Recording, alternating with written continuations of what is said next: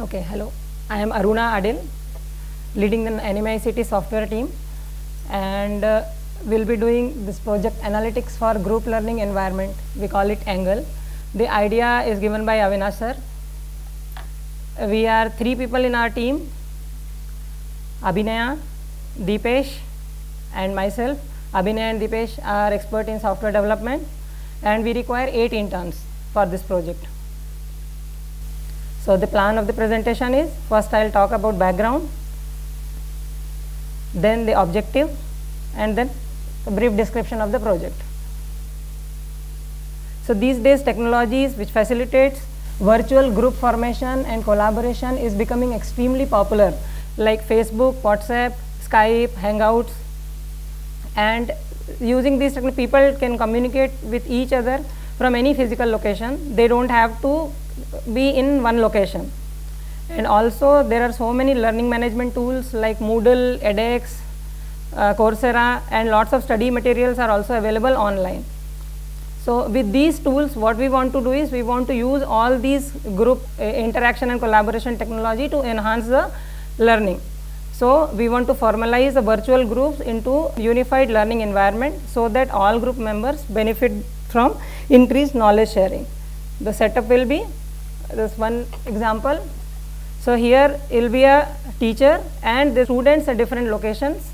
So the teacher can use the LMS to put his uh, notes, he can take quiz and uh, assignments he can upload and then there are students, they can have a communication with teacher using chat, group discussion forum, video conferencing. So the examples can be like it can be used in a class to form different groups, speaking different language speaking learners group to guide them in the learning. Like suppose some students who don't understand the particular language, then separate group can be formed and the TAs can be assigned and they can explain them in that language.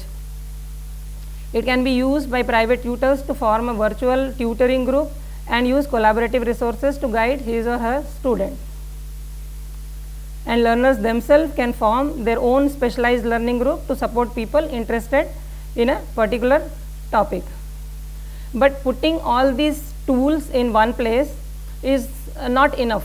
So we can generate the analytics so all these tools we are using so that the, the teacher can understand better that what he is teaching whether the students are able to understand or not. We, we will maintain the records of participation and of performance using collaborative tools and the teachers will be having the access to uh, these collaboration tools and the analytics. The interns, what they will learn is they will have that experience on integration with various existing tools, software lifecycle, Java design patterns, programming languages में Java, JSP, Struts, JDBC, scripting language, JavaScript, Ajax, JSON, jQuery, Bootstrap framework, HTML5, CSS3, database MySQL, end-to-end software testing, at the end teamwork also. So the proposed module, so what we want to develop is, we want to have a platform with the following features to facilitate the complete learning and teaching experience. So we will have a communication LMS tools, then group creation, and then monitoring. So communication LMS tools. So we will use different tools which are already developed and open source for the group individual chat, video conference, discussion forum, emails to support the various types of communications. And we will use LMS tools. First we will try with Moodle and if the time permit then we will integrate with EDX for delivery of learning resources and materials and these all will be open source only. Group creation, we will be creating groups in which the teachers will be able to form different groups and subgroups of the students, schedule different activities, assignments, quizzes for different groups and subgroups, send get notifications for different activities. And the students or learners can participate in different activities for the course, get notification for different activities, view reports, grades and assessments. And he can give feedback for the teacher. And monitoring. So this is the main part we will be putting a lot of time in that this the, like we will be developing full analytics for the mentor or teacher.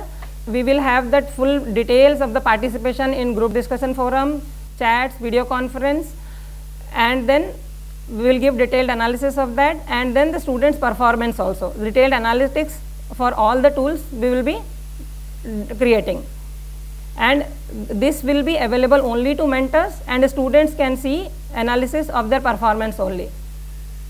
So sample matrix for discussion forum, for quizzes and assignment, this can be changed and video group chat. Hope you have understood a little bit of this project. Thank you.